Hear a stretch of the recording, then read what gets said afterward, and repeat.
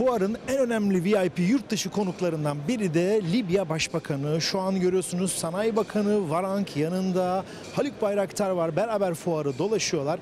Libya aynı zamanda savunma sektörü açısından da Türkiye'nin çok önemli bir alıcısı. Türk savunma sanayi ürünlerinin bunların başında da tabii ki TB2 insansız hava araçları geliyor. Hatırlayacaksınız Libya'daki iç savaşta TB2'ler oyun değiştiren çok çok önemli bir yere sahipti ve gerçekten savaşın gidişatını değiştirdi.